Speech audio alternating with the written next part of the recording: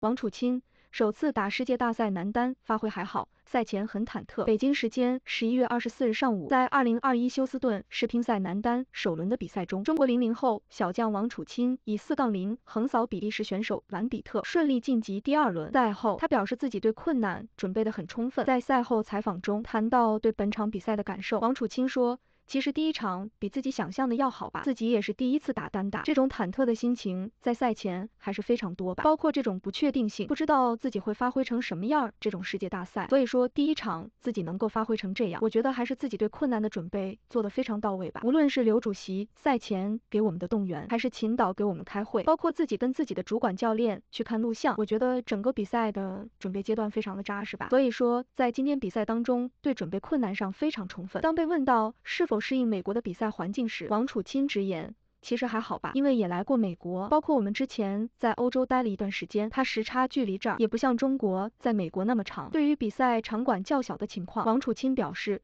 没有，可能会非常的新颖。这种场地的布置，包括整个场地的这种设备，也是比以前要多了很多吧。包括没打完就会有那种雾喷啊，觉得非常的新颖。我觉得大家都一样吧，谁能在这种当中去适应才是最好的吧。至于说后面比赛，王楚钦坦诚。还是一场一场去准备吧，无论碰到谁，自己都拿出这种百分之一百的努力去拼对手。